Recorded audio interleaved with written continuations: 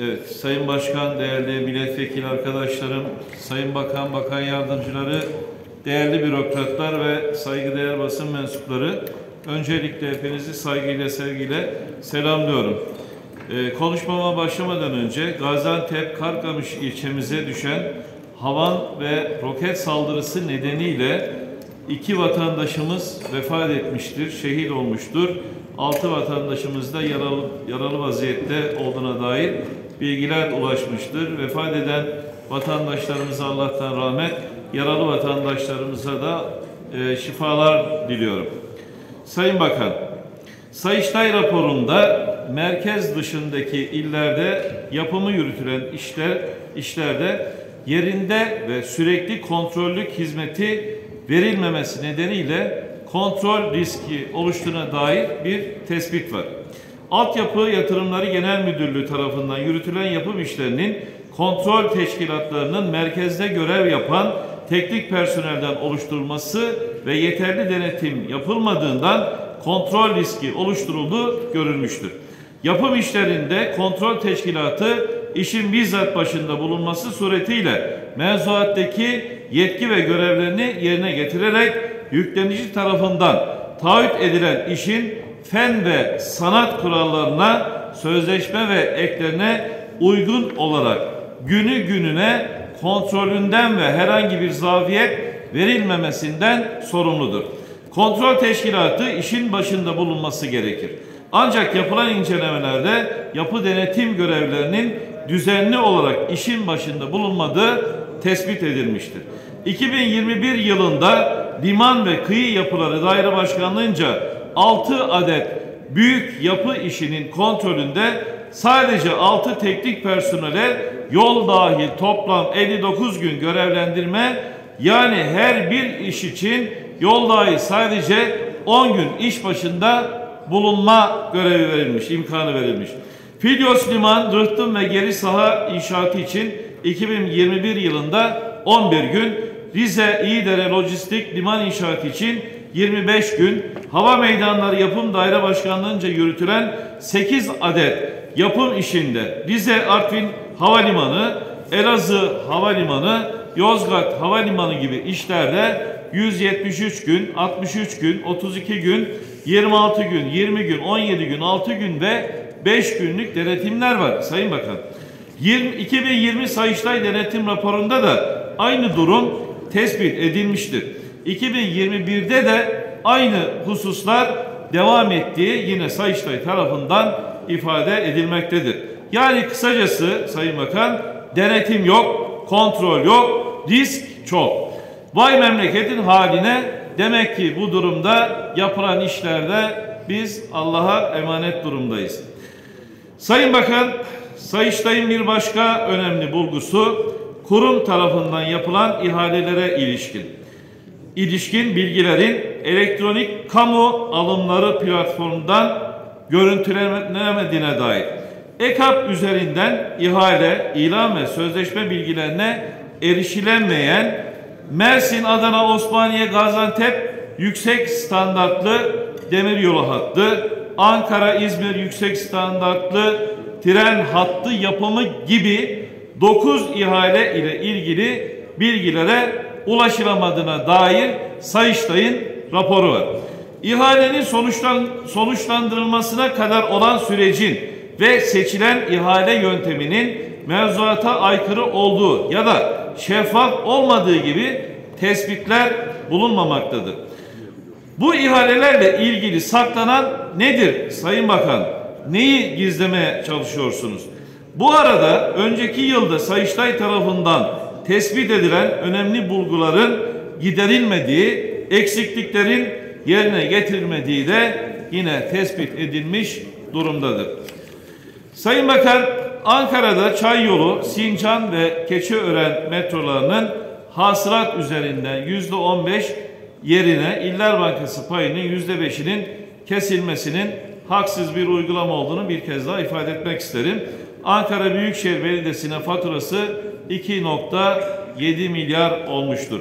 2019'da 10 milyon 250 bin 805 e, bin TL kesilmesi gerekirken 123 milyon 497 bin TL, 2020'de 8 milyon 880 bin TL yerine 229 milyon TL, 200, 2021'de 10 milyon 630 bin yerine 352 milyon 354 bin TL, 2022'de 23 milyon 630 bin yerine 603 milyon 56 bin TL. Yani toplamda 53 milyon 400 bin yerine 1 milyar 308 milyon 800 bin TL kesilmiş durumdadır. Böylece 1 milyar 255 milyon 418 bin TL fazla ödeme alınarak Ankara halkı halkına bu miktar kadar hizmet yapılması engellenmiştir. Ankara halkını cezalandırmaya çalışıyorsunuz Sayın Bakan. Bu kadar parayı haksız yere kesiyorsunuz. Hiç olmazsa bakanlığınızca 2013 yılında proje çalışması başlatılıp 4 yıl sonra 2017 yılında projesi tamamlanabilen 2018 yılında alınan Bakanlar Kurulu kararı ile Esenboğa hattının birinci kısmı olan Keçiören, Kuyubaşı, Esenboğa Havalimanı, Yıldırım Beyazıt Üniversitesi arası Ulaştırma Bakanlığı'nca üstlenilmiştir. Bakanlık 2020-21-22 yatırım programında yer alan ancak 3 yıldır ihalesi çıkarılmamış projenin ve de bu projenin ikinci kısmı olan Kuyubaşı Gar bağlantısının projelerinde bakanlık tarafından hazırlanan projeler ihaleye çıkarılmasını beklemektedir. Başta Çubuk halkı olmak üzere tüm Ankara halkının 2017'den beri beklentisi boşa çıkmıştır. Aynı haksız uygulama Antalya Büyükşehir Belediyesi'nde de yaşanmış, rantabıl olmayan Cumhurbaşkanı, Başbakan, Bakan, Belediye Başkanı tarafından siyaset malzemesi olarak kullanılan ve de devamlı e, zarar eden ikinci etap raylı sistem nedeniyle e, haksız uygulama burada da yapılmış. Antalya Büyükşehir Belediyesi'ne e, bugüne kadar 3 milyon civarında bir para kesilmesi gerekirken 330 milyon TL para kesilmiştir. Siyasetin şovunu siz yaptınız, borcunu biz ödüyoruz. Ankara halkı ödüyor, Antalya halkı ödüyor. Antalya Büyükşehir Belediyesi ödüyor. Aynı şekilde İstanbul'da Levent Hisarüstü projesinde 2015, 2016, 2017, 2018'de toplam kesinti 3 milyon 418 bin TL iken sadece 2019 yılında İstanbul Büyükşehir Belediyesi'nden 326 milyon 375 bin TL kesinti yapılmıştır. Adalet sizin sadece parti isminizde var. İşte ne kadar adaletsiz olduğunuz bu rakamlardan ne kadar açık olduğu ortada gözükmekte. İktidar Cumhuriyet Halk Partili belediyeleri nasıl çalıştırmayız, nasıl cezalandırırız, hizmetlerini nasıl önleriz derdinde. Ama şunu bilin ki bu halk sizin yaptıklarınızı görüyor. Bu haksızlığın, hukuksuzluğun faturasını yüce Türk milleti size ilk seçimde ödetecektir. Herkese eşit, tüm belediyelere hakkaniyetli, parti ayrımı yapmadan bütün vatandaşlarımıza adil davranacak bir iktidarı Millet İttifakı iktidarı gelecektir. 2021 Eylül 2018 tarihli 116 sayılı Cumhurbaşkanlığı kararı ile Sabiha Gökçen raylı sistem hattının yapım işlerini devralma, tamamlama ve sonrasında İstanbul Büyükşehir Belediyesi'ne devretme yetkisi Ulaştırma Bakanlığı'na verilmişti. Sabiha Gökçen Havalimanı raylı sistemi hattı geçici kabulü 29 Eylül 2022 tarihinde İstanbul Büyükşehir Belediyesi'ne devir teslim tutanağı imzalanmıştır. Bu hattın yapım işleri bedeli, karşı, e, bedeli yaklaşık 4,5 milyar TL'dir.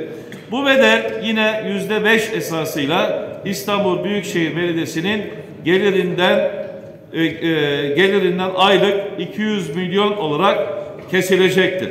Belediye kendi yapsa 15-20 yılda ödeyeceği parayı sizin önce Cumhurbaşkanlığı kararnamesiyle Anayasa Mahkemesi tarafından iptal edilmek edilmesi nedeniyle de bu komisyon ve sonrasında Meclis Genel Kurulu'ndan alınan e, bir kanunla ki haksız olduğunu her aşamada ifade ettik. O kanun maddesine dayanılarak bugüne kadar e, kesintiler devam etti. İşte bu e, Sabiha Gökçen Havalimanı içinde e, İstanbul Büyükşehir Belediyesi 15-20 yılda ödemek imkanı olan bir proje için neredeyse 2 yılda e, bu parayı ödemek zorunda kalacaktır. Yani siz bir taraftan bu hattı biz yaptık diyerek başta Sayın Cumhurbaşkanı dahil hepiniz bu metronun önünde resimler çektirip görüntüler paylaşsanız da sonuçta bu hattın parasını İstanbul Büyükşehir Belediyesi'nden aylık en az 200 milyon olmak üzere kesilmeye devam edecek ve İstanbul Büyükşehir Belediyesi'nin e, aylık gelirinin 4 milyar olduğunu kabul edersek işte ifade ettiğim gibi 2 yılda kesilecektir Sayın Bakan. Bu haksız uygulamaları işte ne zaman başlattınız? Ankara, İstanbul, Antalya gibi 11 Büyükşehir Belediyesi ne zaman Cumhuriyet Halk Partili belediyelere geçti? 1 Mayıs 2019 tarihinde bu haksız uygulamaya uygulamayı başlattınız Sayın Bakan. Sayın Bakan Antalya'da Kemer Fasilis Tüneli açıldı. İnşaatı uzun sürdü, geç bitti. Bu tünele ne kadar para harcadınız bilmiyorum. Ancak şunu bir kez daha söylemek durumundayım. Biz hizmete kesinlikle karşı değiliz. Karşı olmadık, olmayız da. Ancak devletin parasının daha rentable yerlere harcanması, daha dikkatli kullanılması gerekir. Bu tünel açıldığında yandaş basında aynen şöyle haberler çıktı. Antalya ile Antalya ile Ege ve İç Anadolu'yu bağlayan tünel açıldı. 100 yıllık rüya ger gerçekleşti. Fasilis Tüneli bağlantı yolları ile birlikte 3.6 kilometre uzunluğunda seyahat süresi 10 dakika kısaldı. Haberlere bakın.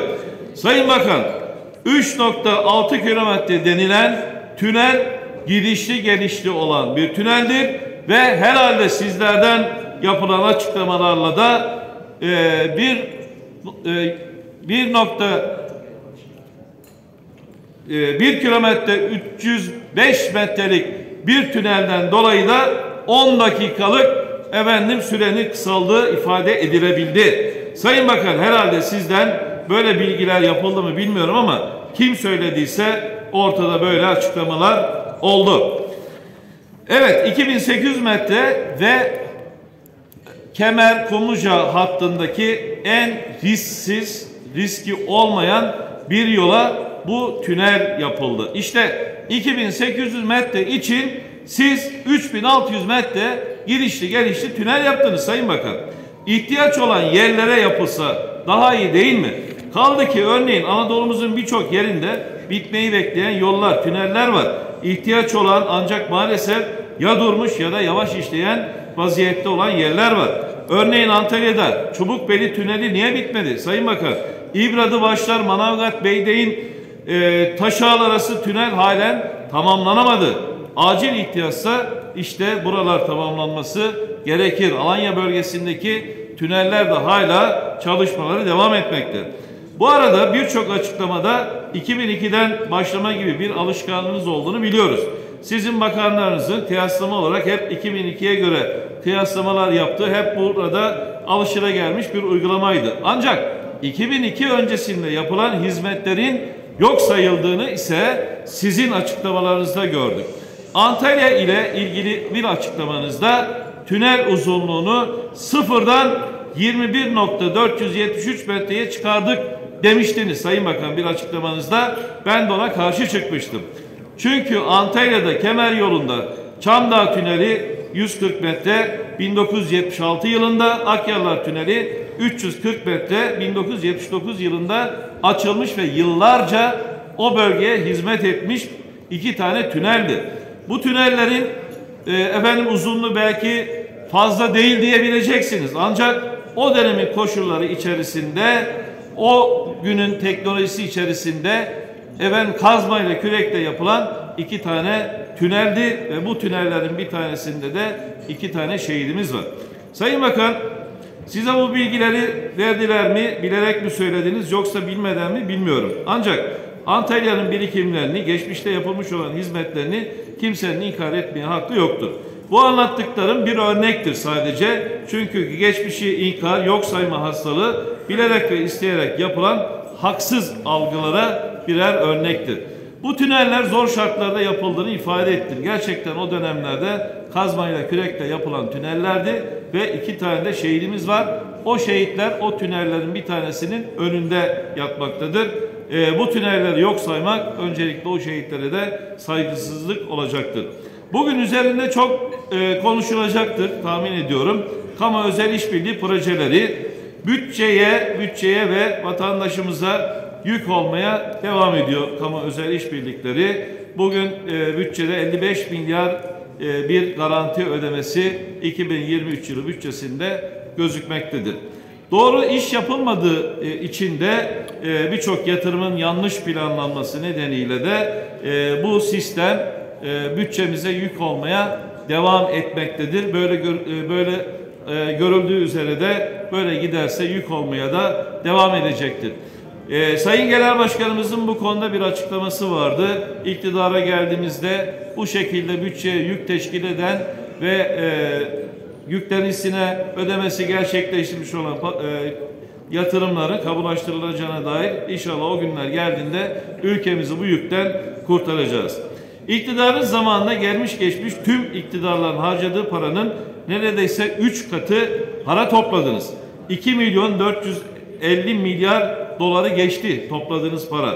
Bu paraları nereye harcadığını sormak lazım. Devlet olarak yapamadığınızı kamu özel işbirliğiyle yaptırıp yeni yükler getirdiğiniz açıkça ortada. Kamu özel işbirliği projelerini nasıl yapıyorsunuz, nasıl hesap ediyorsunuz anlaşılır gibi değil. Ben size soruyorum. Siz kendinize özel olarak bir işiniz için proje yapsanız, örneğin yüzde 97 o projede yanılır mısınız Sayın Bakan? Öyle bir hata işleyebilir misiniz? Öyle bir basiretsizlik sergileyebilir misiniz? Mümkün değil. Yani bir projede yapılırken yüzde üçlük, beşlik, onluk belki de bir hata olabilir. Ancak sizin öyle projeleriniz var ki yüzde 97'lere varan hata payları var. Ama devlet e, işinde maalesef işte siz bu hataları yaptınız.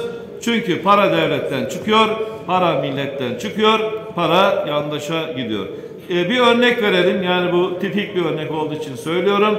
Zafer Havaalanı 2022 ilk 10 ayında garanti edilen giden yolcu sayısı 1 milyon 98 bin. Peki giden yolcu sayısı kaç? Soruyorum. E, bizdeki bilgilere göre ortalama 25.500 dolayında. Yani hata payı %97 seviyelerinde. Yapım maliyeti 50 milyon euro, bugüne kadar 58 milyon 482 bin euro ödenmiş. 2044 yılına kadar ödenecek para 208 milyon euro. Yani böyle yüzde 90'lara 97'lere varan hata paylarıyla birileri zengin edilmeye devam ediyor. Kamu özel işbirliği projeleriyle de bütçeye ve vatandaşa yük olmaya devam ediyor. Aynı tabloyu Rize Artvin Havaalanı'nda da görebilmekteyiz ve yine e, Tokat Havaalanı'nda da görebilmekteyiz. Son olarak e, Sayın Bakan sizi e, gerek bakanlık gerekse iktidar olarak Anayasa Mahkemesi kararlarına uymaya davet ediyorum.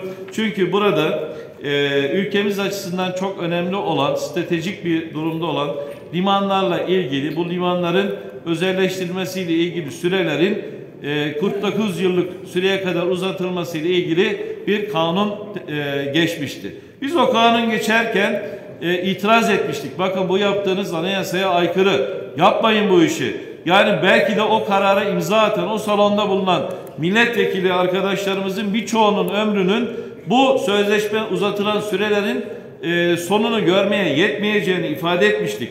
Bakın e, 2047'lere, 2046'lara, 52'lere, 61'lere e, ve 2070'li yıllara kadar uzatılan e, süreler vardı.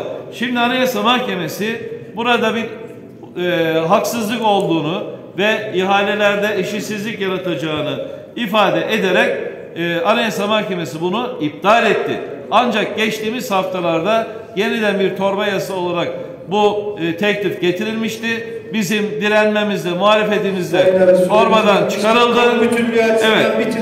Torbadan çıkarıldı ve e, şimdilik rafta duruyor. İnşallah tekrar getirmezsiniz. Çünkü limanlarımızın böyle e, uzun yıllar birilerine devredilmesi, teslim edilmesi e, milletimizin aleyhine olacak bir durumdur diyorum.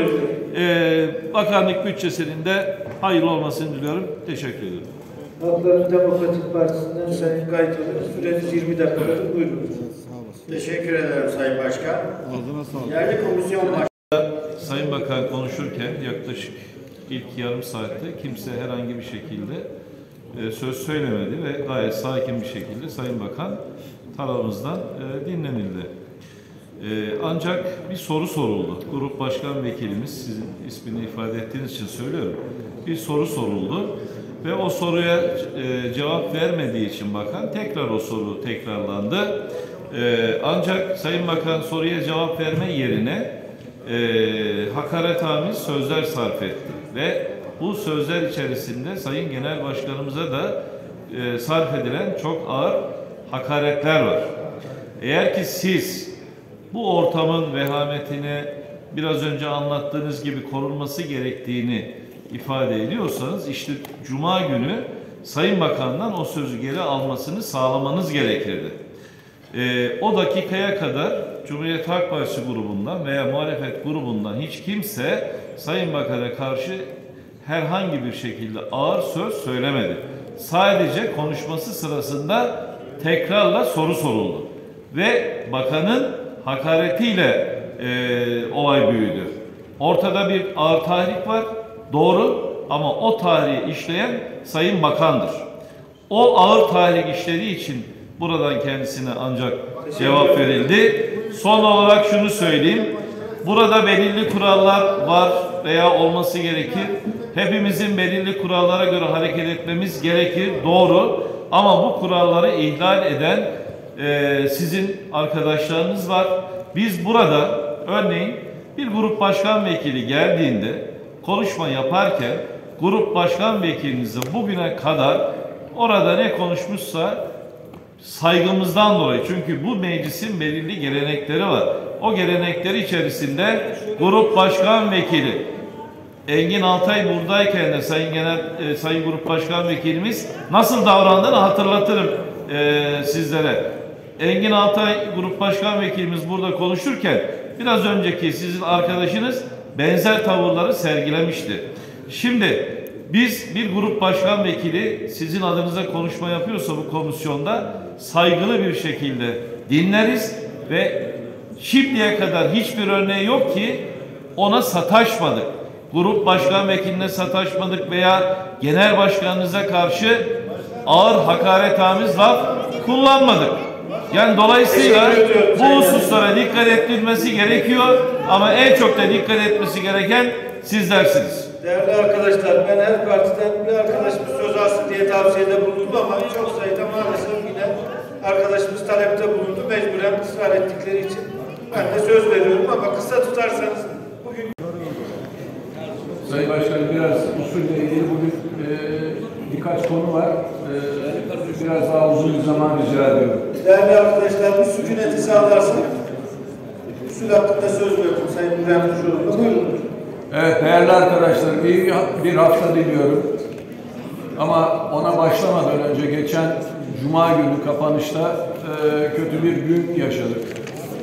Cuma günü bütçe görüşmeleri bütçe görüşmesi olmaktan çıktı. Millet tarafından seçilen, milletin iradesine sahip olan e, bizlerin dikkate alınmadığı, bizlere hakaret edildiği e, bir e, rezalet vahim olaya dönüştü. Bundan dolayı çok üzgün olduğumuzu bildirmek istiyorum. Sizlerin de benzeri e, üzüntüyü taşıdığınızı düşünüyorum. Bütçe görüşmeleri Cuma günü tamamen e, bütçe görüşmesinden, kesin hesap görüşmesinden çıktı. Tamamen siyasi ama siyasi derken de siyaseti kötülemeyelim. e, seviyetsiz bir e, noktaya geldi. Bunda kimseyi suçlamıyorum. Hepimizin kabahati e, olabilir bununla ilgili olarak ama sonuç olarak öyle oldu. Ben konuşma bile yapmadım. Çünkü burada kesin hesapla ilgili, bütçeyle ilgili söylenecek sözlerin artık hiçbir anlamı kalmamıştı sonuç olarak. Değerli arkadaşlar, yasama organı seçilmişlerden oluşur. Bizler seçilmişiz. Bir Cumhurbaşkanlığı hükümet sistemi var. Burada en önemli özellik yasama, yürütme ve yargının birbirinden ayrılmasıdır. Güçler ayrılığıdır dendi. Şimdi burada biz yürütme erkini hep beraber eleştirmek zorundayız. Yaptıkları harcamaları, yapacakları harcamaları bize anlatmaları, hesap vermeleri lazım yaptıkları harcamalarla ilgili. Bu milletin e, parasıyla ilgili bize hesap vermeleri lazım. Hep beraber bu hesabı sormak zorundayız. Biz Cuma günü bu hesabı soramadık. Şimdi somutlaştırayım. Somut olarak Cuma günkü olayın e, şey, gerekçesi neydi? Efendim uyuşturucu gelirleriyle cari e, açık ilişkisinin kurulmasıydı. Peki ben soruyorum size. 28 milyar doların üzerinde bir net ve hata noksan var. 60 milyara yakın yıl sonu itibariyle. Yok yok içeriye girmiyorum. Başkanım içeriye girmiyorum. Usulle ilgili konuşuyorum. Söyleyin o zaman Sayın Başkanım bana. 28 milyar doların üzerinde net hata noksanla ilgili burada Maliye ve Hazine Bakanlığı geldi. Ticaret Bakanlığı geldi. Diğer bakanlıklar geldi. Cumhurbaşkanı Yardımcısı geldi. Tek bir açıklama duydunuz mu?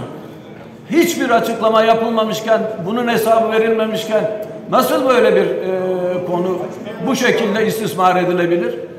Kim bununla ilgili açıklama yaptı net hata ve noksanla? Bileniniz var mıdır? Hiçbiriniz yok. Hiçbir açıklama yapılmadı bununla ilgili. Birazı turizm gelirleri artırılarak birazı orada eritildi o kadar. Bu şekilde bu şekilde e, bütçe görüşmesi olmaz arkadaşlar. Hepimizin bundan utanması lazım. Sayın Başkanım bir sözüm size. Şimdi bu Dinleyelim arkadaşlar. Terbiyesizlik bu görüşmelerle ilgili olarak bir terbiyesizlik yapma bir dinle yani. baş, Dinle. başkan olarak milletvekillerini Değerli arkadaşlar, bir dinleyelim açmayı lütfen. Grup sözcüsü konuşuyor. Değerli arkadaşlar, sakin olun. Evet arkadaşlar, dinleyelim, bugün- dinleyelim. Hakaret ederken sen neredeydin Salih Çırak? Günü bakan hakaret etti genel başkanımız. Sen neredeydin? Terbiyesizlik yapma. arkadaşlar, Cumhurbaşkanı vekili konuşuyor. Haddini bil be. Sus. Yeter artık senin yaptın ya.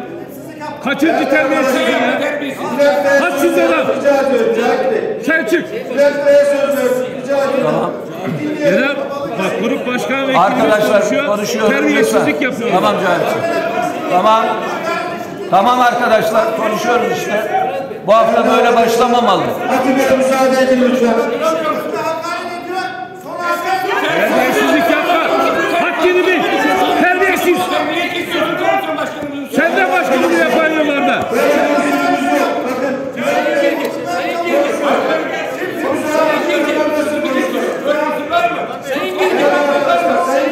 Arkadaşım bak. Burada grup başkanı vekili konuşuyor oradan devamlı sataşıyor. Terbiyesini koruyacak. Sen kimsin ya? Sen kimsin? Sen kimsin? Hassiz. Saygısız. Hesap soruyoruz. Ne hesabı soracak? Ne hesabı soracak? Hatta başbakan gibi bir genel başkanı hakaret ediyorsunuz. Hala orada duruyorsunuz ya.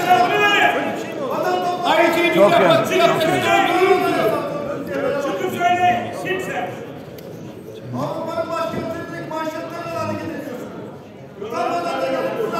Terbiyesizlik yapma Salih Çoral. Ahlaksızlık yapma. Sensin onu yapan.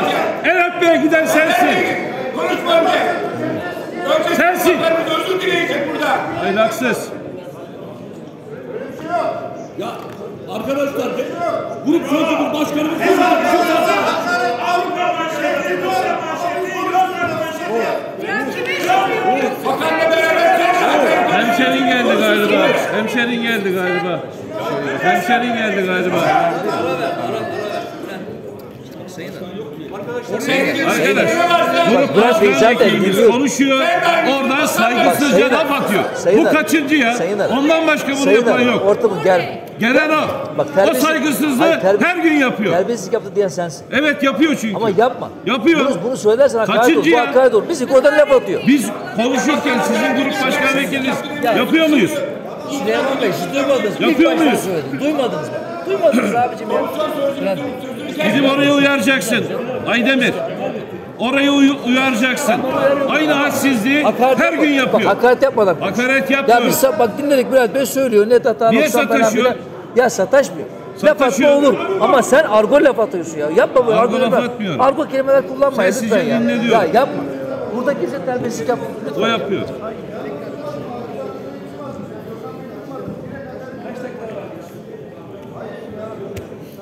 Senin şovunu izleyecek halimiz yok burada her gün ya.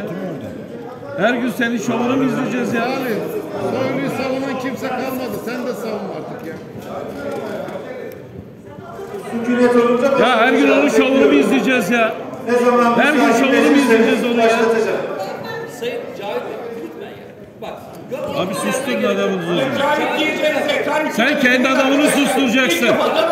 Önce kendi adamını susturmayı öğreneceksin. Arkadaş, ha Cahit haber, ha başkası. Komisyon başkanımız konuşurken Önce kendi laf atıyor, adamını bir ona sus demeyi öğrenecek. ya. Hassizlik yapmayı öğrenecek. Sen konuşmada duramıyor musun Cahit Çınar? Sen de bakanınızla hakaret ediyorsunuz be. Yazık size hala da bu devam ediyorsunuz. Bari bir susun.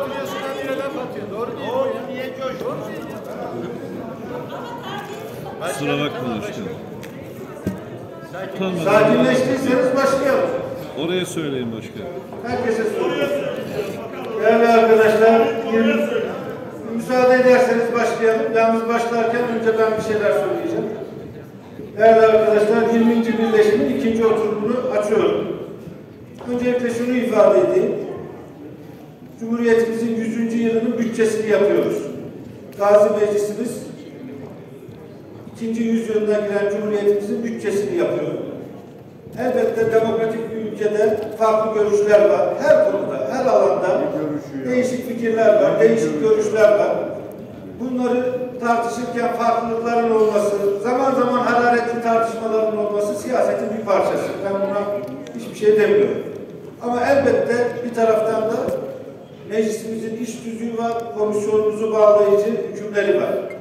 Burada ben hiç kimseyi cebren zorla bir takım konularda üsluba uygun davranmaya zorlayamam. Yapabileceğim tek şey komisyon başkanınız olarak uyarmak, iş düzeye uymaya davet etmek. Buradaki herkes sorumluluğunu bilen insanlar. Milletimizin seçilmiş temsilcileri, yine devletimizin bakanları. Dolayısıyla hepinizi, bakanlarımızı, kendimi, bütün vekilleri iş düzeye uygun davranmaya bir kez daha davet ediyorum. Benim yapabileceğim bu. Tekrar tekrar yapıyorum. İkinci olarak şunu söylemek isterim. Bir başkasından düzgün bir üslup kullanmasını, iş düzeye uymasını beklememiz için, buna hak görmemiz için kendimizde, önce bizim buna uymamız lazım. Bunu herkes için söylüyorum. Kendiniz uymazsanız, kendiniz bu tavrı göstermezseniz başkasından da bunu beklemeye hakkımız olmaz diye düşünüyorum. Dolayısıyla bütün arkadaşlarımızı iş düzüğümüze uygun davranmaya, hangi fikri söyleyeceklerse söylesinler. Bizim içeriye ilişkin hiçbir diyeceğimiz yok. Herkesin fikri kendisinin. Milletimiz sonuçta takdirini yapacak. Anlaşmak zorunda da değiliz değerli arkadaşlar. Böyle bir şey yok. Keşke anlaşabilsek ama anlaşmak zorunda da değiliz. Farklı fikirler olabilir.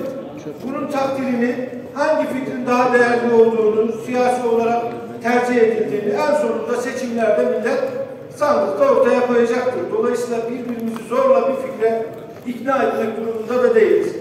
Benim herkesten ricam şu.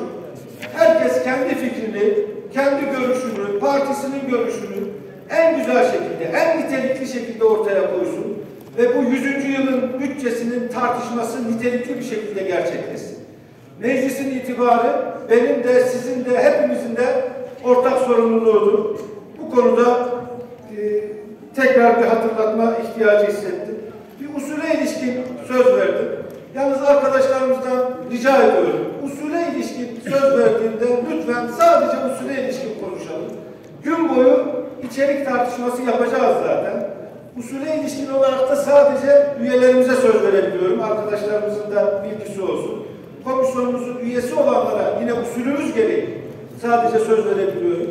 Arkadaşlarımızı sakin bir şekilde dinleyelim.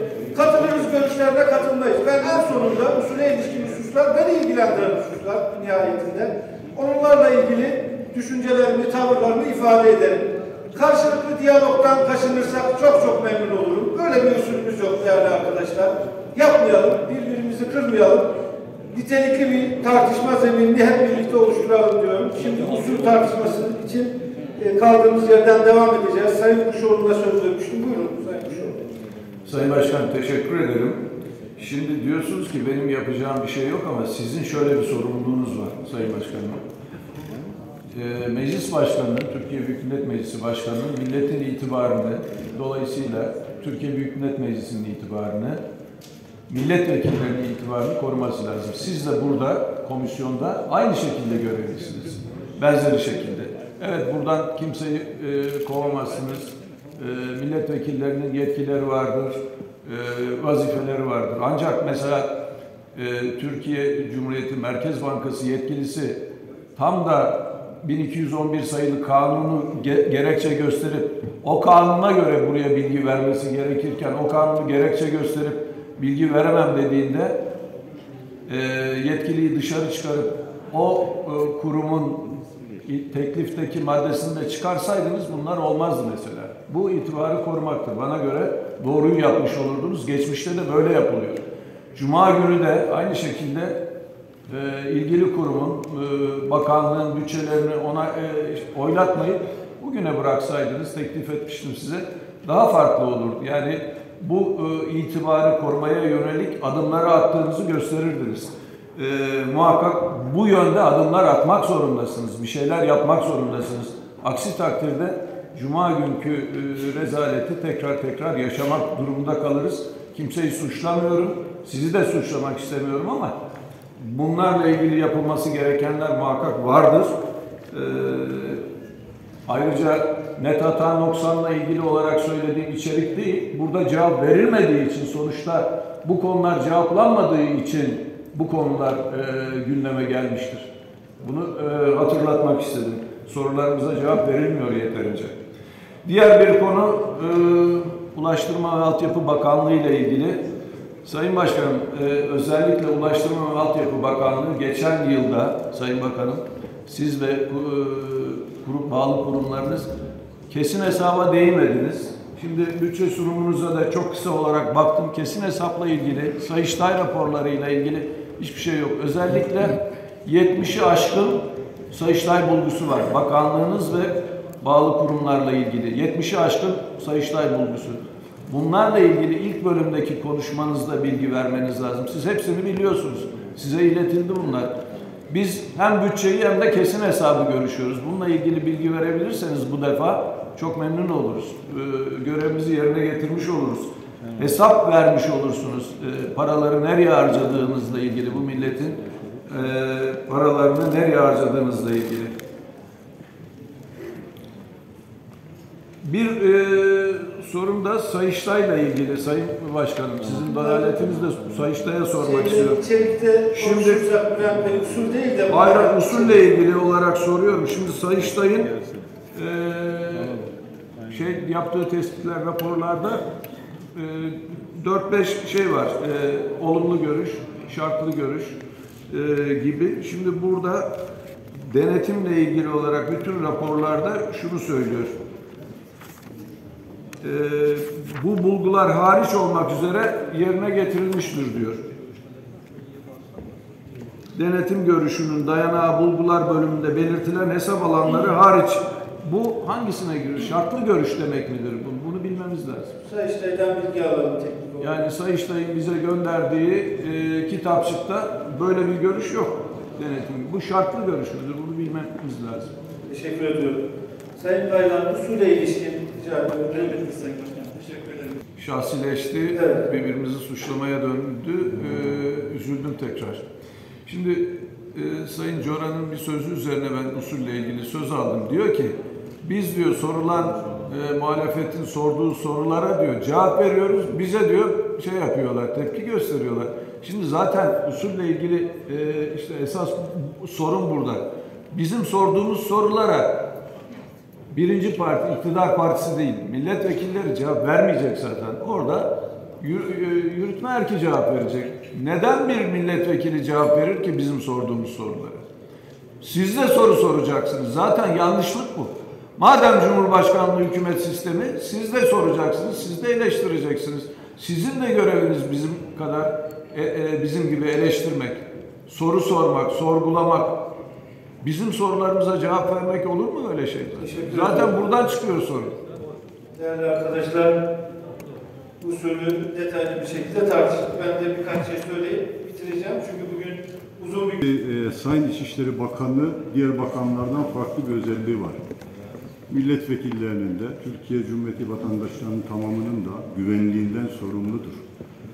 Sayın İçişleri Bakanı burada ve dışarıda her yerde ve her zaman insanları hiçbir şekilde mahkeme kararı olmadan damgalıyor, hedef gösteriyor. O günde Bunun usulle bir ilgisi yok Mehmet Bey. ne demek usulle ilgisi Usulle yok? bir ilgisi yok. O günde, o günde geliyor. Komisyonumuzun usulünü tartışıyoruz. Bakın, bakın. Gidin basın toplantısı yapın. Bakın, anlatın ne basın toplantısı yapmıyorum. bütçe platformu Bakın biraz biraz daha biraz daha şey yaparsa siz de bir destek atacaksınız. Yaparsınız, bir şey. yaparsınız. Burayla ilgili konuşacağım ya Sayın Bakanım ya. Buranın usulünü Daha sözümü bitirmedim ya. Nereden çıkarıyorsun bunları? Niye niye uyuyorsun ya Cemal? Cemal'de bugün bir tuhaflık var. Sen niye ona uyuyorsun? Bakar başka. Neyse, tamamlayın bitireyim ben. Buyurun. Bakın İçişleri Bakanı burada da burayı gerdi. Terörize etti. İnsanları hedef gösterdi. Sayın, sa- sayın, sayın Başkanım, değerli arkadaşlarım, İçişleri Bakanı hepimizin güvenliğinden sorumludur. Hedef gösteriyor. Bu terörist diyor ya. Bakın, terör can almış. Mehmet Bey teşekkür ediyorum. Ya niye Uğur, Uğur Aydın'ı bir şey yapıyorsun? Niye beni dinlemiyorsun Sayın Başkan ya? Ya usulle ilgili bir şey söylüyorum ya. Terörün- terörün-. Buyurun. Son bir yapın. Ya niye son cümle ya? Cümleni bitireceksin ya. Niye? Niye? Niye böyle yapıyorsun başkanım ya? Usulle ilgili söylüyorum. Bakın terörün can aldığı, herkesin canının yandığı bir, bir zamanda güvenliğimizden sorumlu İçişleri Bakanı hem de Meclis Plan Bütçe Komisyonu'nda milletvekillerine teröristsin, şöyle yapacağım seni, böyle yapacağım. Ya bunlar anlaşılır şey değil. Ben ilk defa bu meclise 1999'da geldim. Bakın 23 senedir böyle bir İçişleri Bakanı, böyle bakanlık, böyle komisyon başkanı da görmedik. Ne yapıyorsunuz arkadaşlar? Nereye gidiyor bu? Ya usul hakkında milletvekili konu bitirmeden sözlerini, sözünü kesen bir plan bütçe komisyonu başkanı işte. Böyle bir yerdeyiz yani. Bey'e şimdi söz veriyorum. Mürsel Bey buyurun lütfen. Teşekkür ederim Sayın Başkan, Sayın Bakan, komisyonun değerli üyeleri. Sabah Sayın Bakan'ın sunumunda e, özellikle takip ettiğim, not aldığım birkaç noktayı hatırlatmak istiyorum.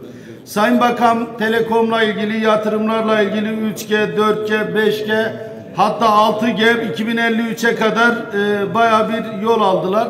Ama şunu söyleyeyim Sayın Bakan şu an ülkemizdeki 25-30 bin köy ve kırsal mahallenin kaç tanesinde sabit internet altyapısı vardır? Burada e, bu köylerin hiçbirinde sabit internet yoktur. Mobil internette e, vericilerin e, doğru ve e, yerine dikilmediğinden dolayı iyi e, veriler veremiyor ve internet ulaşımına ulaşımında çok sıkıntılar yaşanıyor. Ee, Bununla ilgili bir proje var mıydı? Buna bütçe ayırdınız mı? Kaç yıldır iktidardasınız? Bütün bakanların yaptığı, övündüğü altyapı telekom projelerinde sadece kent merkezlerine mi çalışıyorsunuz? Yoksa kırsal köyleri ve mahalleleri bunun dışında mı tutuyorsunuz? Mesela örneğin Erzurum'a gidiyorum, Ağrı'ya gidiyorum, Van'a gidiyorum. Köylerdeki çalışmalarımızın çoğunda internet çekmiyor ve telefon da çekmiyor, ulaşılamaz duruma geliyoruz. Bununla ilgili bir çalışmanız var mıdır? Dönüyorum kendi bölgeme. Ee, Karabel yolu e, Antalya, Burdur, Seydi Kemer, Fethiye arası e, e, burada Antalya Burdur illerini bağlayan D350 karayolu üzerinde bulunan Karabel mevkisindeki Karabel tünelinin ve yolun son durumu nedir? Bu yol ne zaman bitecek? Deli Dumrul tüneline dönüşmüş durumda. Turizmde büyük darbe almaktadır. Bu yüzden Muğla onun da e, cevabını rica ediyorum Sayın Bakan. Denizli Muğla arasındaki yol AKP iktidara geldiği günden beri bu yolu başlattı. Ama orada 2-3 kepçe, 2-3 kamyon yaklaşık 11-12 yıldır çalışıyor. Bu yol neden bitirilemedi, niye bitirilmiyor? Bunu gerçekten merak ediyoruz. Muğla'daki bu yol, Muğla güzergahına bağlanan bu yollar neden tamamlanamıyor Sayın Bakan? Gerçekten sormak istiyorum. Göcek Tüneli, Göcek Tüneli AKP iktidara gelen bak bakanlar, başbakanlar efendim e, burada Göcek Tüneli bir Deli Dumrul Tüneli'ne dönüşmüş yine. Eskide hırsızlar tünel kazıp banka soyardı. Şimdi iktidar eliyle tünel açılmış, yap işlet devlet yöntemiyle verilmiş. Hatta devletin kendi imkanlarıyla yapılan tünel de o işletmeciye devredilmiş ve Fethiye'de Muğla'ya, Muğla'dan Fethiye'ye, Antalya'dan Muğla'ya gelen veya bu Muğla'dan Antalya'ya giden tüm yolcularımız burada yüksek rakamlarda ücret ödemektedir. Sizin iktidarınızdaki başbakanların, bakanların vaat ettiği sözleri ne zaman tutacaksınız? Bu tünel ne zaman kamulaştırılacak? Halk ne zaman ücretsiz olarak bu tünelde geçecek Sayın Bakan? Bodrum dünya markası bir ilçemiz bizim. Türkiye'de bulunan ama karayoluyla bakın karayolu Bodrum'a bir türlü yapılmıyor. Bodrum'a yazın veya kışın yaz sezonunda da olsa oraya ulaşım iki buçuk üç saat. Yani İstanbul'da bu trafiği nasıl yaşıyorsanız Muğla Bodrum'da da aynısını yaşıyoruz. Bodrum'la ilgili bir karayolu çalışmanız var mı? Bodrum Yarımadası'nın karayoluna kavuşturacak mısınız? Projeniz, programınızda var mı? Bunu gerçekten merak ediyorum. Bodrumlu ve Bodrum'a gelen yurttaşlarımız, turistlerimiz trafik sıkışıklığında hareket edemez halde. Neden? Bodrum'un karayolunu gündeme almadınız. Gel ki sormamın da bir anlamı yok. Zaten 6 ay sonra gideceksiniz. O yolları tekrar gelip biz yapacağız Sayın Bakan. Bu da sizin iktidarınızın Muğla'ya vermiş olduğu eksiklik olsun. Havalimanı. Muğla'da iki tane havalimanı var. Merak ediyorum gerçekten. Dalaman Milas Bodrum Havalimanı. Türk Hava Yolları Ankara'dan Bodrum Havalimanı'na veya Dalaman Havalimanı'na neden gitmiyor? Neden bu kış sezonu bahanesiyle oralara tarif, uçak tarifeleri konmuyor? Biz aktarmalı olarak İstanbul'dan Dalaman'a, Muğla'ya ve Bodrum'a gidiyoruz veya buradan aktarmalı olarak oraya gidiyoruz. Bunun açıklamasını nasıl yapacaksınız? Şunu gerçekten öğrenmek istiyorum. Türk Hava Yolları neden Ankara'dan Bodrum Havalimanı'na veya Dalaman Havalimanı'na sefer koymuyor? Onun da bir anlamı çıkıyor aslında. Yani yap, alayım. yap işlet devlet modeliyle yaptığınız havasına indiğiniz zaman sahasına yarım saat tur içinde dolaştığınız İstanbul Havalimanı'na yönlendirdiğiniz için bunlarla Teşekkür karşılaşıyoruz. Teşekkür ediyorum Sayın Başkan. Teşekkür ederim Sayın Başkanım. Sayın Başkanım, değerli milletvekillerim, Sayın Bakanım, Bakan Yardımcılarım, bürokratlar, değerli basın mensupları, bize hizmet eden değerli kardeşlerim hepinizi sevgiyle, saygıyla selamlıyorum. Değerli arkadaşlar, ben 8 yılda beri bu komisyondayım. Sorun şurada. Hep yanlış anlaşılıyoruz. Bizim bizim köprüye karşı, yola karşı, havaalanına karşı değiliz. Bizim bu köprülerin, yolların, havaalanların kaça yapıldığı, nasıl, ne şekilde yapıldığına karşıyız. Şimdi hemen arkadaşlar anlattı. Siz iktidara gelince 26 tane havaalanımız vardı. Hepsi bize aitti. İktidara geldikten sonra 2002'de 52'ye çıkardınız havaalanı ve mevcut havaalanını da özelleştirdiniz. 52 tane havaalanını da yine yaptığı zamanla hepsi yap işlet devri modeli yaptınız. Otoyollar Sayın Bakanım burada mı? Otoyolları 20 yılda beri hangi otoyolu yaptınız? Hepsini yap işlet devlet modeli olarak yaptınız ve geçen de geçmeyen de para ödüyor. Köprüleri yaptınız. Bir tane bütçede yapmadınız. Yine yap işlet devlet modeli yaptınız. Yani şurada 450 mil, 950 milyar yatırım yaptı diyorsunuz ya. Sayın Bakanım gerçekten merak ediyorum. Şu an daha önceki iktidarın yaptığı otoyolların aynısını yaptınız mı? Size bir tek örnek vereceğim. İzmir'le Aydın arasında devlet yaptı. Ben İzmir Havalı'na indi, Aydın'a giderken 7 lira para ödüyorum. 126 kilometre. Bir de üstelik bir tünel var. Orada çıkıyorum. Şu an bir yap işlet devlet modeliyle 126 kilometre Denizli'ye kadar otoyol ihalesini yaptınız. Değerli arkadaşlar, otoyolun maliyeti 250 milyon euro. Siz o müteahhite geri dönüş kaç para ödeyeceksiniz biliyor musunuz? 1 milyar 450 milyon euro para ödeyeceksiniz. Yani siz 7 lira geçen devletin yaptığı yolda 7 lira vatandaş geçerken şu an 5,5 euro ödeyeceğiz. 5,5 euro ne demek biliyor musun Sayın Bakanım? 110 lira. Ben burada size soruyorum değerli arkadaşlar. Siz 126 kilometre 110 lira para verip Aydın Kuyucak'ta Buharkent'e Aydın'a gelip tekrar geri gider misiniz? Bizim sorunumuz şu. Yap işlet devlet modeli değil. Yap işlet soy devleti yaptınız bu ülkeyi. 85 milyonu ödediği vergi birilerine rantını yükseltmek için birilerine bypass ediyorsunuz değerli arkadaşlar. Üzüldüğümüz nokta bu. Bizim derdimiz yoksa yollara karşı, köprülere karşı, havalanlara karşı değiliz. Şimdi siz aslında kendi iş adamlarına ve 85 milyon vatanın ihtiyacına göre iş planlamasını yapmıyorsunuz. Siz kendi yandaş müteahhitlerin iş yaratmak için ihale ediyorsunuz. Neden mi söylüyorum bunu? Söyleyeyim size. 1 milyon 200 bin nüfuslu Aydın şehrinde 2002 yılında söz vermenize rağmen bir havaalanı, mevcut havaalanı genişletmediniz. Ama öyle yerlerde 70 bin nüfuslu yerlere de 250 milyon 300 milyon lira, dolar para harcayıp da havaalanı yapıyorsunuz. Siz geçmeyen yollara, geçmeyen köprülere, köprülere ihtiyaç mesele değil. O yandaş firmalara iş sağlamak için ihale yapıyorsunuz. Sayın Ulaştırma Bakanı'na soruyorum. Sayıştay devletimde söylüyorum. Sadece 9 sadece 9 e, 9 tane e, ihalede 19 milyar 735 milyon lira ihale etmişsiniz. Bu ihaleyi 21 bende yapmışsınız arkadaşlar. 21 ben ne olduğunu biliyorsunuz herhalde. Olağanüstü hallerde, depremlerde işleme giren bir, bir, bir ihale sistemi. Ama siz öyle yapmıyorsunuz. Siz o 5 tane yandaş müteahhitleri çağırıyorsunuz. Adamlar akşam oturuyor masa başında. 1 milyarlık işe yaz diyor 5 milyar lira. Sen 5,5 yaz. Sen 3 milyar yaz. Zaten beşli o çete dediğimiz genel başkanımız çete dediği o firmalar bu işleri aralarında paylaşıyor. Fark etmiyor. Bu iş senin, bu iş benim diye paylaşıyorlar. Şimdi biz ne yapıyoruz? Evet. Cumhuriyet Halk Partisi Genel Başkanımız Sayın Kemal Kılıçdaroğlu dediği gibi biz iktidara geldiğimizde bütün bütün yolları, otoyollarını ve köprüleri kamulaştıracağız değerli arkadaşlar. Zaten adam 1 milyar dolar para yatırmış. 1 milyar dolar şu ana kadar 9 milyar doların geri almış. Daha biz bu adama 17 yılda 20 yılda para ödeyeceğiz. 85 milyon gariban asgari ücretle çalışan yoksul 5500 lira alan adam 600 lira vergi veriyor. Ama siz o gariban yoksulda aldığınız o vergileri beşli çeteye veriyorsunuz. Şimdi değerli arkadaş Sayın Bakan yaptığınız bir bütün ihalelerde dev, yine devlet demiyorlarında Sayıştay'ın raporu var.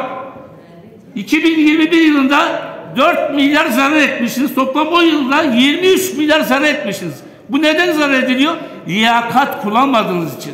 Elit liyakat kullanmadığı sürece 20 milyar değil 30 milyar da zarar eder. Değerli arkadaşlar Sayın Bakan'a şunu söylüyoruz. Bu 6 ay boyunca bu ihaleleri durdurun. Yap işlet devlet modellerini bitirin. Aksi takdirde geldiğimizde bunun hesabını size soracağız. Hepinizi saygıyla selamlıyorum. Hepinizi saygıyla selamlıyorum. Türkiye Cumhuriyeti Devlet Demiryolları, Cumhuriyet ideolojisinin ayrılmaz bir bağ olarak bağımsızlığın en önemli sembollerinden biri olmuştur. Devletin her bir kuruşuna sahip çıkan, demiryolunu bağımsızlıkla iç içe getiren anlayış AKP ile birlikte tarihe gömülmüştür. Sadece iki hat için örnek veriyorum Sayın Bakanım. Sunumunuzda Ankara-Sivas hattının 2023 Nisan'ında açılacağını söylediniz. 6 yılda bitecek hat 14 yıldır devam ediyor. Daha önce 7 kez açılış takvimi verilmiş ama açılamamıştı. 8. açılış tarihini siz vermiş oldunuz. Önceki açılış tarihini veren bakanlar ve genel müdürler gitti. Sizin sözünüzün sonunda da sizlere halk gönderecek. Ancak Hattın güvenliği ile ilgili büyük şüphelerimiz mevcut. Esmebaşı tünelinde 8 kez göçük meydana geldi. Yıldızeli ilçemiz Karakaya köyü sınırları içindeki köprü geçişinde iki sefer çökme meydana geldi.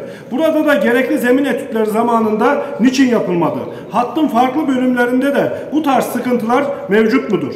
Şu an 5 adet güvenlik tünelinin ihalesi dahi yapılmamış durumda. Yarım kalan kaç tane güvenlik tüneli var bilmiyoruz. Bir ay önce T18 güvenlik tünelinin daha sondaj çalışmalarının, laboratuvar deneylerinin, jeoteknik çalışmalarının devam ettiğini açıklamıştınız.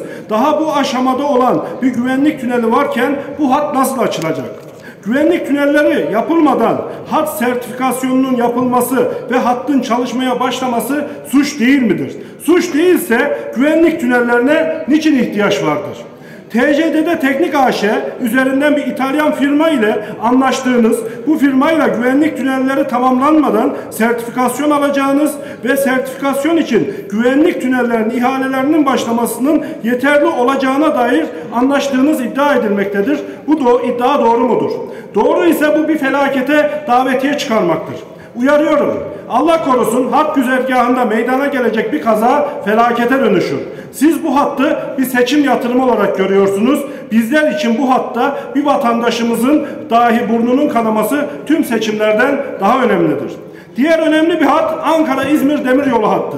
Dönemin Ulaştırma Bakanı Binali Yıldırım'ın 2013 yılında 1080 günde bitim ve 4 milyar 300 milyon TL maliyet olarak açıkladığı hattın geldiği noktaya dair birkaç bilgi vermek istiyorum.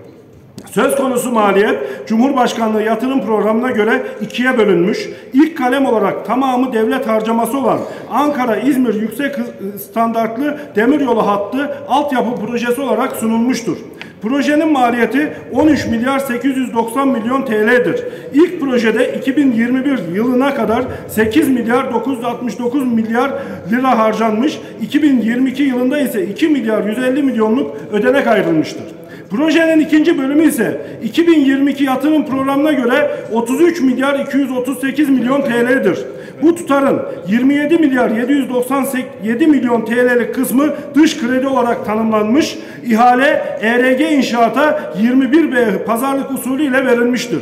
Bu bağlamda hattın iki projenin kalemleri toplandığında 508 kilometrelik hattın maliyeti 47 milyar 128 milyon TL'ye çıkmaktadır. Başka bir hesapla kilometre başına 92 milyon 772 bin TL para harcanmış olacak. Yani projenin kilometre başına yaklaşık maliyeti 5 milyon dolara tekabül etmektedir. Bunun dünya standartı ise 1,5 milyon dolar civarındadır. Başka bir deyişle projede kilometre başına 3 kattan fazla bir ödeme söz konusudur.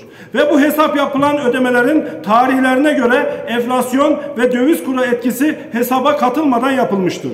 Böyle bir maliyet dünyanın neresinde var? Bu ihale hangi gerekçelerle 21B usulüne göre yapılmaktadır? Cumhuriyet tarihinin en büyük ihalesini neden açık ihale yapmadınız?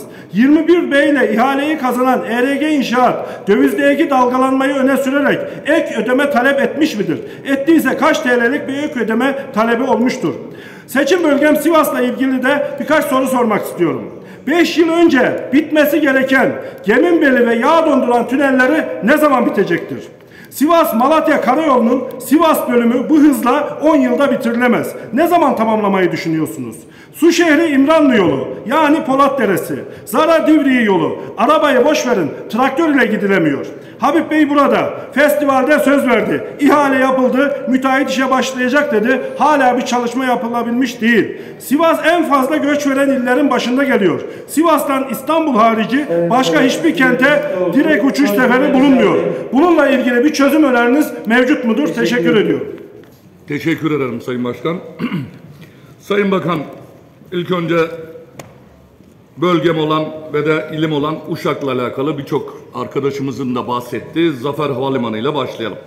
Şimdi Zafer Havalimanı e, Uşak, Afyon ve Kütahya'nın toplam ilin e, toplam nüfuslarından bu üç ilin nüfusundan bile daha fazla garanti verilmiş. Belki sizin bakanlığınızdan, şahsınızdan önce ama AK Parti hükümetlerinin bence en kötü projesi ve de yüz karası proje olaraktan adlandırıyorum. Çünkü yüzde 97'lik bir yanılma payıyla maalesef sınıfta değil eksilerde olduğunuzu özellikle belirtmek istiyorum. Ve de bir tek bütçeye verdiği yük olarak değil, maalesef Uşak'ta yaşayan 370 bin vatandaşımıza zulüm çektiriyorsunuz. Zafer Havalimanı yüzünden. Bizim 1 TL borcu olmayan bütün altyapısı, üst yapısı, ne diyeyim, e, yer hizmetleri, kule hizmetleri, her şey, itfaiyesine kadar, tüm ekibi, güvenliğine kadar tüm ekibi hazır olan Uşak Havalimanımızı çalıştırmıyorsunuz. Uçuşlar kapalı maalesef. Sadece sizler özel uçakla geldiğinizde inebiliyorsunuz. Yani Zafer Havalimanı Uşaklı'ya zulüm çektirmektedir. Bu birincisi. Sayın Bakan, Avrupa'da uygulanmayan, burada kamyoncu benim nakliyeci kardeşlerime uygulamak istediğiniz UTTS veri bildirme. Ya nereden buldunuz geldiniz bunu? Böyle bir şey yok, Avrupa'da da yok. Bakın benim kaç tane ülkede firmam var. Böyle bir uygulama yok. Siz nereden icat ettiyseniz gerçekten sizi tebrik ediyorum. Ama nakliyeci arkadaşlarım, şoför arkadaşlarım böyle bir veri bildirimine girmeyecekler. Hiç boş boşuna uğraşmayın. Diğer bir taraftan Avrupa'da uygulanmayan bu veri sistemini de eğer uygulamaya kalkarsanız Anayasa Mahkemesi'ne kadar da gideceğiz. İnşallah zaten o kadar zamanınız yok zaten. O da aşikar. Bunun yanında Sayın Bakan şu anda çok güncel bir sorun var. Bakın sigorta. Herhangi vatandaş trafik sigortası yaptırma için artık firma kompanya bulamıyor. Yani en ufak bir bakın ilk araç sahibi olan bir vatandaşımız 4500 TL ile başlıyor. Eğer 5. basamağa çıktıysa 13500 TL. Vay haline vatandaşın. Yani 13500 TL trafik sigortasını bir vatandaş ödeyecek olursa nasıl bu araca binecek? Zaten siz zamanınızda Doğan görünümlü Şahin bile onlara fazla gelmeye başladı. Onun için ilk önce bence yerel trafik sigortası yapacak olan sigorta şirketlerini kurduralım ki yabancıların elinden Türkiye'deki vatandaşlarımızı kurtaralım sigorta konusunda. Diğer bir taraftan Sayın Bakan biraz önce de bahsedildi. Sivrisar, Afyon, Uşak, İz- İzmir hızlı tren hattı. Maalesef bu zamana da yetişmeyecek. Kesinlikle de yetişmeyecek. Çünkü bütçe yok. Durdu. Kaç bölümünde durdu. Çalışıyor diyorsanız buyurun gidelim hatta. Çalışmadığını ben size göstereceğim. Onun için bu konuyu da özellikle belirtiyorum. Bir, e, tabii ki şoför arkadaşlarımızın bir sorunu var. Ehliyet affını gündeme getirmek istiyorum. Bunu ben de özellikle rica ediyorum. Bir de bunun yanında bakın Türkiye'de uygulanmayan, Avrupa'da uygulanan bir e, sistem var. Eğer bir ağır vasıta şoförü, ağır vasıta şoförün biliyorsunuz CDE ehliyeti vardır. Eğer B ehliyetiyle, otomobil ehliyetiyle bir suç işlediyse, ehliyetini kaptırdıysa Avrupa'da bunu sadece B ehliyetinden dolayı cezalandırılır. Yani ekmek parasını kazandığı e, ağır vasıta ehliyetine devamlılığı söz konusudur. Burada da bir değişikliğe ihtiyaç olduğunu özellikle size belirtiyorum. Yani suçu işlediği ehliyetini o an kullandığı araç üzerinden cezalandırılması eğer ekmek parasını kazandığı ağır vasıta ehliyetinde muaf tutulmasını özellikle sizden rica ediyorum. Sayın Bakan bunun yanında ağır vasıta şoförlerimize firma sahiplerimize aksiz mazot desteği verilmesi acilen zaruridir. Defalarca size biliyorsunuz sizin bakanlığınıza en çok önerge veren kişi benim. Onun için ulaştırma sektörüne özellikle pandemi zamanında şehir için minibüsü, taksici, otobüsçüsü, kamyoncusu çok zor anlar geçirdi. Ama maalesef mazot desteği yani aksiz mazot desteği vermediniz. Yine şehir içi minibüsçülerin en büyük problemi 65 yaş üzerindeki vatandaşlarımızın ücretsiz bilmesi. Kesinlikle destekçisiyiz. Ancak bir taraf sevinirken bir taraf mağdur oluyor. Gelin 1200 TL verdiğiniz bu minibüsçülere vermiş olduğum önergede 3000 TL dedim yılbaşına kadar. Gelin bunu bir an önce 3000 TL yapalım. Yılbaşından sonra da bunu güncel fiyatlarla güncelleyelim diyorum. Bakın tekrar bir sorun daha var. Siz milleti kandırmaya devam ediyorsunuz. Dediniz ki Osman Gazi Köprüsü özellikle geçtiğimiz Kurban Bayramı öncesi işte e, verilen 40 bin geçiş garantisini geçti. Geçti. Hiç elinizi falan böyle kaldırmayın. Bakın rakamlarla size ispat ettim. 40 bin geçiş garantisini 80 bin geçtiğinde karşılamıyor. Çünkü de, bütçe tarafından kompanse ediyorsunuz. Yani verilen 35 dolar o artı KDV 37.2 dolar yapar. 37.2 dolar tam 120 bin geçiş andırga olduğunda geçer. Yeterli. Onun için kimseyi kandırmayın. Bu milletin bütçesinde daha fazla soydurmayın. Hiç elinizi böyle kaldırmayın. Size ayıp böyle yapmak ya. Bir bakana yakışıyor mu? Ne demek böyle el kaldırmak falan ya? Ne demek? Ben rakamları doğruluğunu ispat ediyorum. Milletin verdiği ödediği hazineyi soyduruyorsunuz. Sayın Başkan, Sayın Bakan, değerli arkadaşlar hepinizi saygıyla selamlıyorum. Ee, hükümet adına Ulaştırma ve Altyapı Bakanlığı'nın 3 bütçe, 3 tane sunumu, bütçesinin 3 tane sunumunu e, dinledik. E, şimdi tabii biz muhalefet partisiyiz arkadaşlar. E, elbette bir hiçbir şey yapmadınız falan demiyoruz. Çok işler yaptınız, nasıl yaptınız? Biz bunları konuşacağız. Eksikliklerini, hatalarını, problemlerini. Yani kızmak, kara yemişe atlamak yok. Sayın Bakanım bilir herhalde kara yemişe atlamak ne demek. Şimdi önce Sayın Bakan dedi ki biz 10. yani 10 ilk 10 ekonomiye girme hedefimiz işte devam ediyor. Sayın Bakan 17. ekonomi aldınız. 2021'de e, 21. ekonomi oldu. 2022'de muhtemelen 23. ekon- ekonomi. Bunlar da gerçekler. Sayın Bakanım bu İstanbul seçimleri ve metrolarla yani kafayı kafayı bozma kelimesini yanlış anlamayın yani şey olarak söylüyorum. Yani çok taktınız bu, bu işe. Neredeyse 3 sayfa metro anlattınız Sayın Bakan. İstanbul'da bu halkın oylarıyla seçilmiş bir Büyükşehir Belediye Baş Başkanı var. bu işler ağırlıklı olarak ondan olması gerekiyor. Ve bu, bu Türkiye Cumhuriyeti'nin belediyesi, kamu. Nedir bu belediyeyle alıp veremediğiniz, Ekrem İmamoğlu ile probleminiz? Birlikte yapsanız güzel bir şekilde, koordineli bir şekilde çok daha iyi olmaz mı? Bakalım. Başka bir konuda yar- yarışalım ya. Burada yarışmayalım. Ne olur yani. Vatandaş kazansın. Şimdi e, bütün arkadaşlarımız İstanbul Hava hem Sayın Bakan söyledi hem e, bütçeyi sunan diğer iki arkadaşımız bütçeyi sundular gerçekten. İstanbul Havalimanı Avrupa'da birinci, Sabiha Gökçen altıncı dedi ve ben de bir baktım şöyle. Arkadaşlar Sabiha Gökçen'in bir tanecik pisti var. Bir tane pisti. İstanbul Havaalanı'nın altı tane pisti var. Yıktığınız, kazıdığınız milyarlarca liralık milletin emeğini heba ettiğiniz, yok et, ettiğiniz Atatürk Havaalanı'nın üç tane pisti var. Eğer İstanbul Havaalanı'na milyarlar dökmeseydiniz, milletin geleceğini ipotek altına almasaydınız, biz Atatürk Havaalanı ile yine İstanbul'da e, dünyada birinci havaalanı olurduk. Madem bir pistte Sabiha Gökçen. Üstelik Sabiha Gökçen'de sefer kalkmıyor Sayın Bakanım. Akşam 18'den sonra Ankara'ya uçak yok Sayın Bakan. Yani İstanbul Havaalanı'na gideceksiniz Maltepe'den, Pendik'ten. Evet, Sabiha Gökçek'ten 18'den so- sonra İstanbul'a, e, Ankara'ya uçak yok.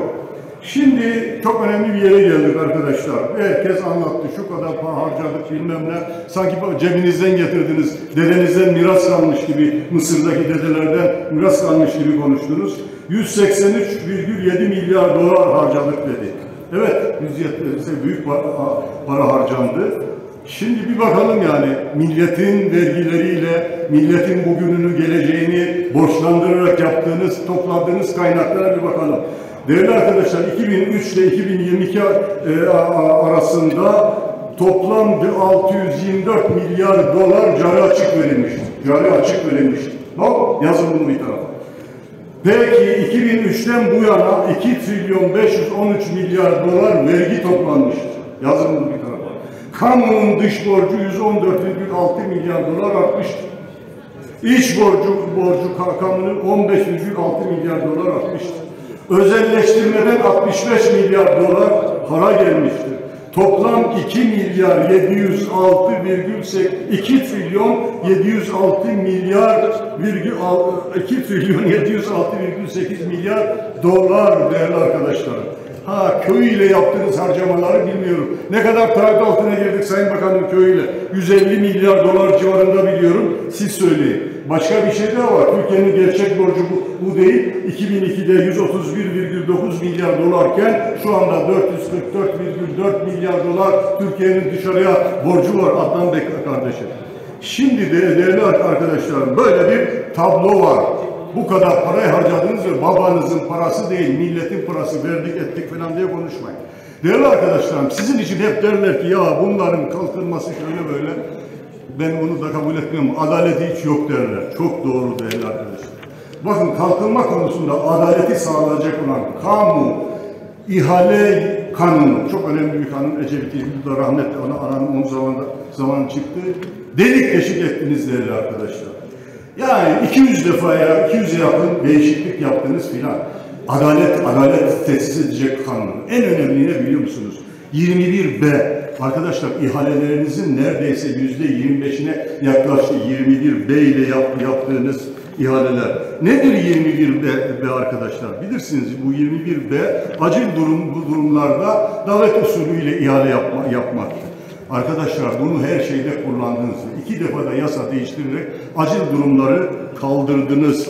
Neler neler eklediniz mesela ilk defa doğal afetler, salgın hastalıklar, can ve mal kaybı tehlikesi gibi ani ve beklenmeyen durumlarda ve idare tarafından öngörülemeyen olayların ortaya çıkmasını eklediniz. Daha, daha sonra da işte davet edilmeyenlere şey verilmeyecek filan dediniz ve artık bütün ihaleleri 21B ile yapıyorsunuz değerli arkadaşlar.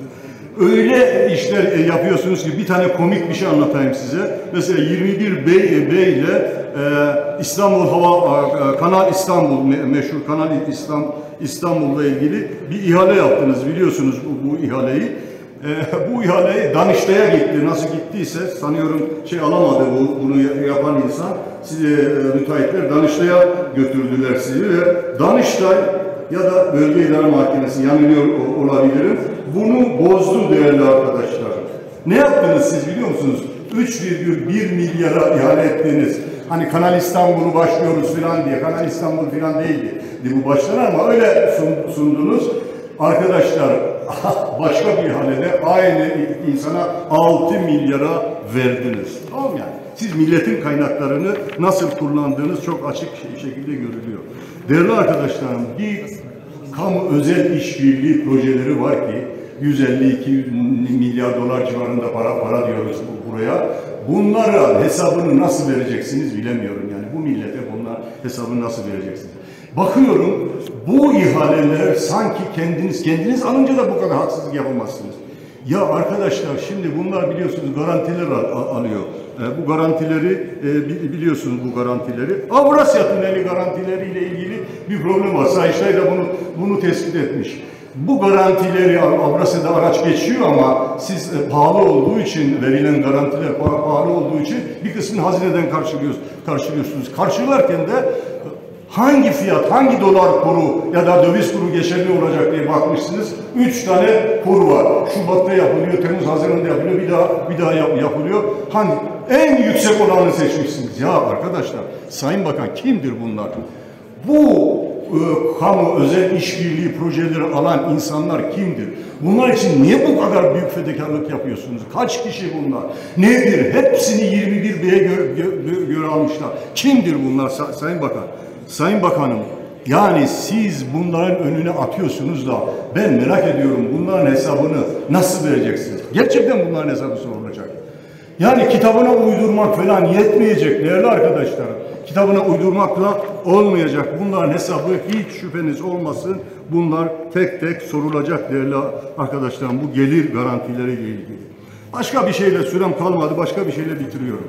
Sayın Bakan'a bu konularla ilgili defalarca soru önergesi e, verdi. Ya cevap vermedi ya da işte şu kanuna göre yürütüyoruz dedi. Bir tanesi çok ilginçtir. Kendileri de özellikle Adalet ve Kalkınma Partisi'nin genel başkan yardımcılarıyla defalarla ge- gelip eğer dezenformasyon yasası o zaman geçerli olsaydı bunlar hepsi dezenformasyon yasasıyla bun- bunlara fezleke gelirdi. İnsanları enforme ediyoruz diye dezenforme ettiler. Mesela bu Sayın Bakan Rize'ye geldi. İkizdere'de arkadaşlar halk toplantısı yaptı. Dedi ki bu e, İİDER'e lojistik merkezde 8 bin kişi çalışacaktı. Sonra projeyi inceledik baktık 200 küsur insan çalışacak. Değerli arkadaşlar hiçbir şekilde çevre duyarlılığı şey yapmadan, chat yapmadan daha geçen sene söylemiştim arkayı dolanarak çet, e, taş ocağı açacakları alanı üçe bölerek e, e, 25 hektarın altına düş, düşürdüler her alanı ve çek gerek yoktur diye validen belge aldılar. Yani Ulaştırma Bakanı, bu Sayın Bakan, İçişleri Bakanı'nın hemşerisi Sa- Sayın Sayın Bakanımız, başka bir ba- ba- bakan, bakanı, Çevre Ba- Ba- Bakanı'nı kandırarak, vali, valiyi de kandırarak üç ayrı alanda alıyorlarmış gibi orada şey aldılar. Ve e, o, Çet, çet aldılar. Şimdi arkadaşlar burada sorduk. Burada sorduk bakana bunlar ne anlama geliyor? Bunlar nasıl oluyor diye sorduk. Ne yazdı bana biliyor musunuz?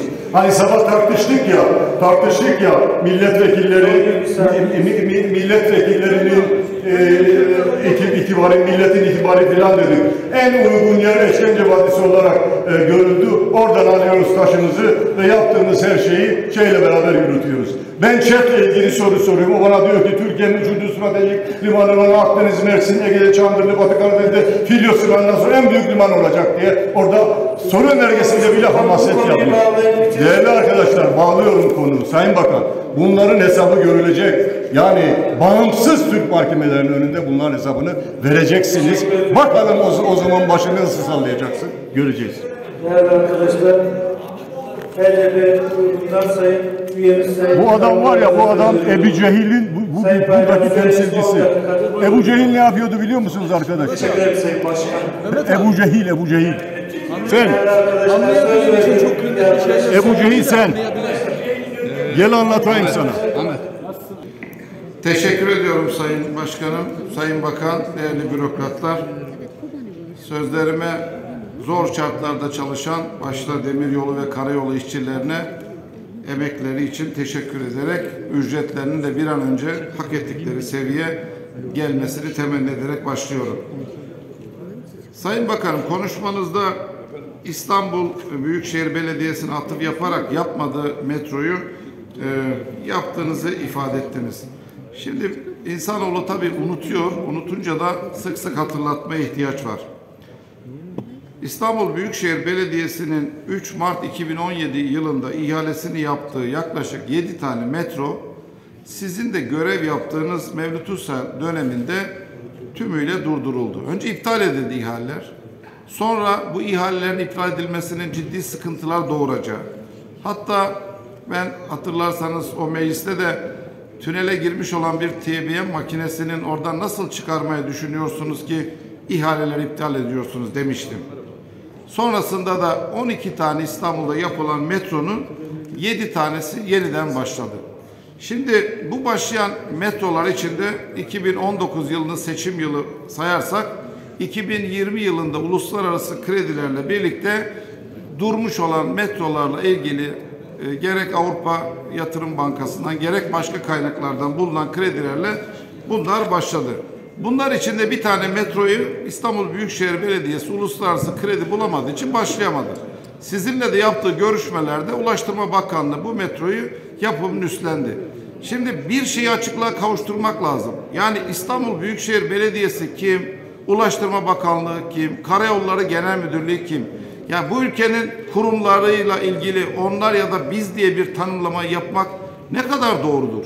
İkincisi Ulaştırma Bakanlığı'nın en son açtığı e, Pendik Sabiha Gökçen Havalimanı'ndaki Ulaştırma Bakanlığı'nın müteahhitlere yaptırmış olduğu metronun da hak edişleri İstanbul Büyükşehir Belediyesi'nin gelirinin yüzde beşi karşılığı her ay düzenli olarak kesilecek.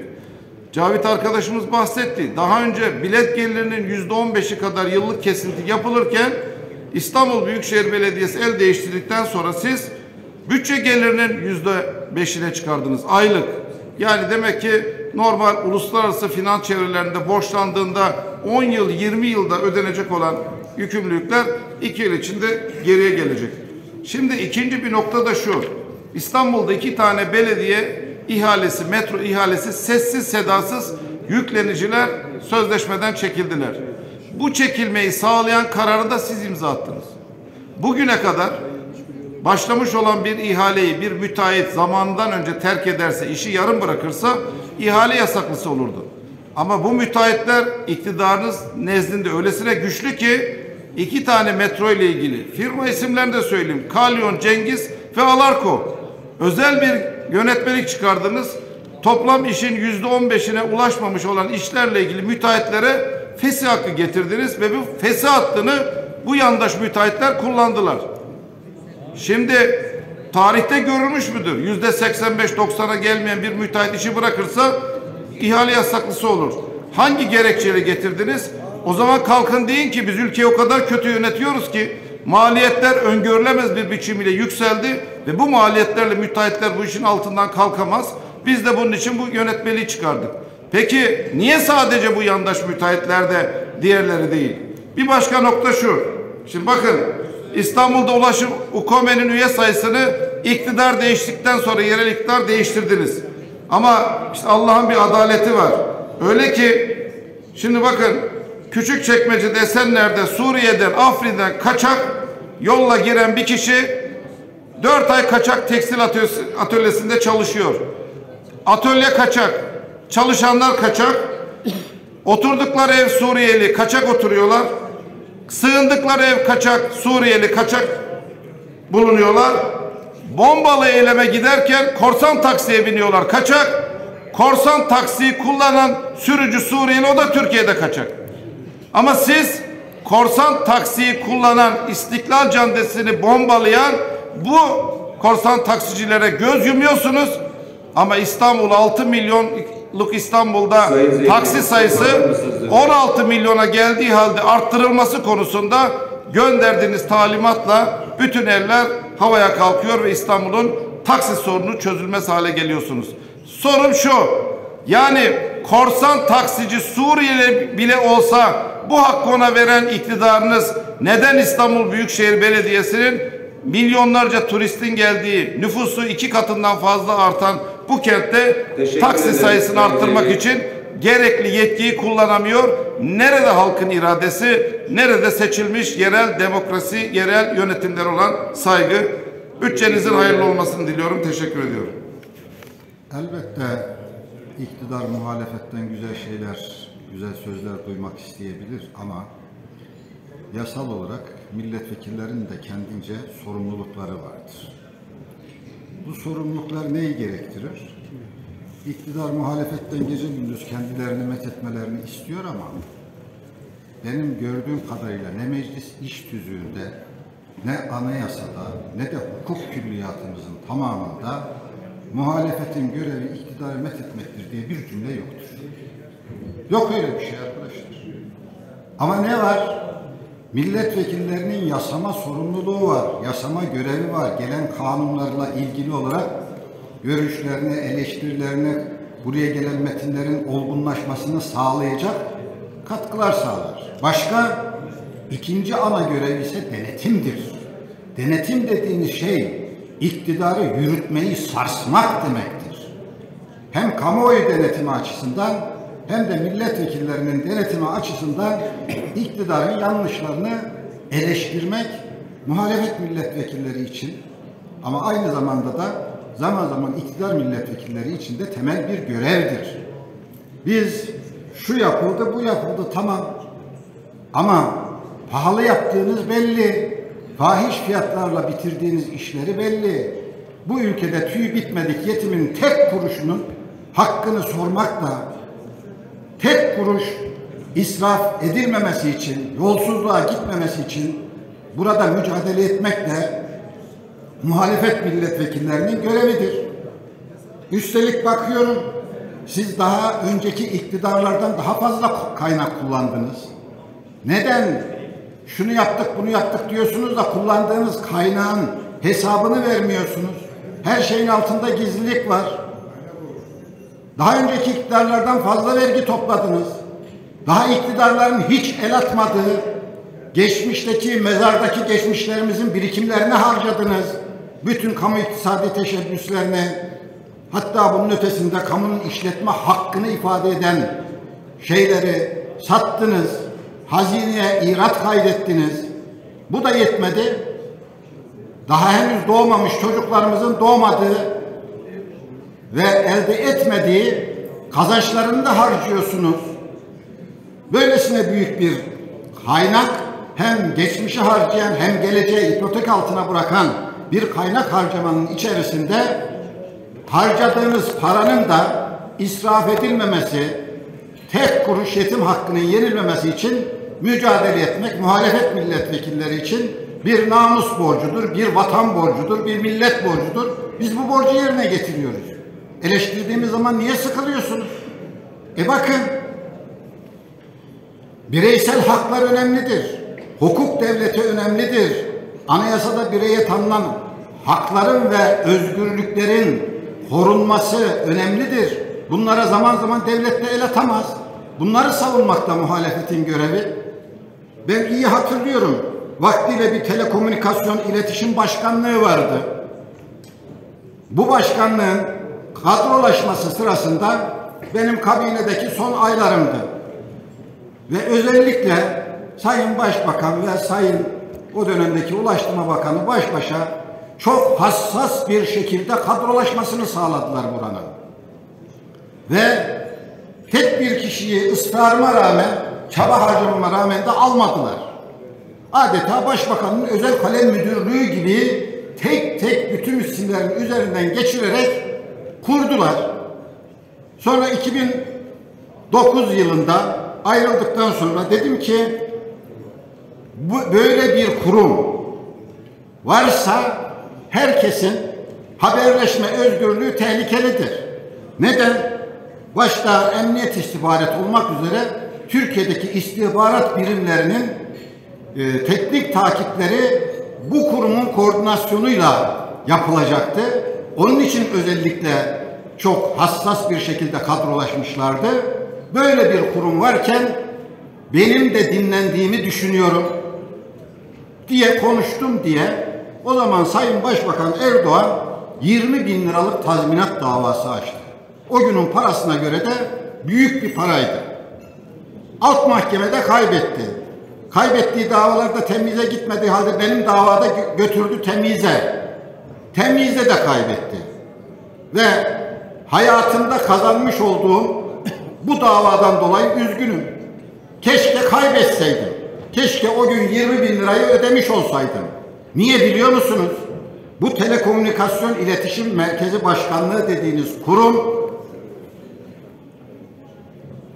İçlerinde Milli İstihbarat Teşkilatı, Başbakanlık, Dışişleri Bakanlığı ve dış misyonlar arasında yer alan bağlantılar ve Genelkurmay Başkanlığı'na ait hatlar başta olmak üzere binlerce hattın yasa dışı dinlendiği ve yurt dışında olan bir IP adresine gönderildiği bir kurum haline dönüşmüş. Böylesine tehlikeli bir kurum. 15 Temmuz'dan sonra televizyondan izliyorum. Sayın Başbakan diyor ki Türkiye'de fitnenin başı bu telekomünikasyon iletişim başkanlığıymış. Bunu kapatacağız. E bana dava açtım bunu dediğim için, bundan daha hafifini söylediğim için. O yetmedi arkasından kapattılar. Kapatma da yetmedi. Ne yaptılar biliyor musunuz? Binanın altında, üstünde, çevresinde ne kadar kablo varsa hepsini söktüler. Binayı dahi delik deşik hale getirdiler. Olan şey bu. Şimdi Bilgi Teknoloji ve İletişim Kurumu'nun bütçesinde sabah dinledik. İnşallah böyle bir yetkisi, böyle bir e, işlevi yoktur diye umut ediyorum. O gün aman bize eleştireceğin, eleştiriyorsun diye dava açana kadar veya burada olduğu gibi muhalefet aman çok ses eleştirdi diye hücum edeceğine, e- edene kadar ya bundan da alacağımız bir ders vardır notumuzu alalım dese ve işin gereğine baksa daha faydalı olur.